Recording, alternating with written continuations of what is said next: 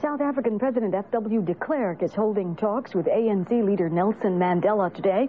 As the country's multiracial democracy talks enter a critical stage, many far-right activists are wondering about their future. Martin Seemungal reports. South Africa's right wing is on the move, defiantly racist.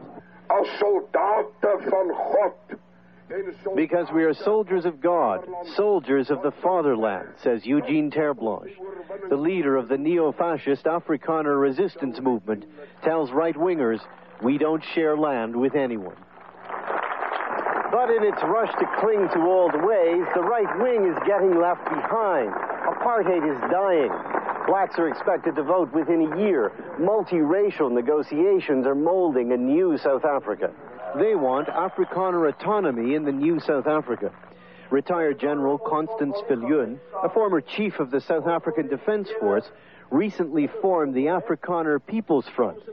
At this weekend's march in Pretoria, Viljoen delivered a petition to the government demanding a constitution providing for Afrikaner self-determination. It gave them six months to comply. But Eugene Terre'Blanche isn't hopeful. If they believe that they can, can negotiate for our fatherland and get it back, I'll let them try. I'm preparing myself for the war. What sort of war, sir? The most terrible war ever known in the history of Africa. To win self-determination at the negotiating table, the right wing will need support from black liberation movements like the ANC, and the two sides are sworn enemies. Blacks see right-wing Afrikaners as a symbol of decades of oppression.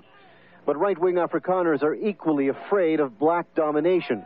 To them, the ANC and its flag is something to destroy. Martin Seemungal, CBC News, Pretoria.